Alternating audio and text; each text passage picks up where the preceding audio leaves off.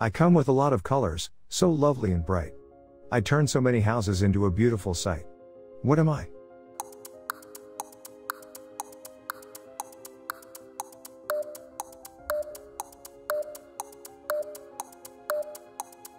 Answer Christmas lights.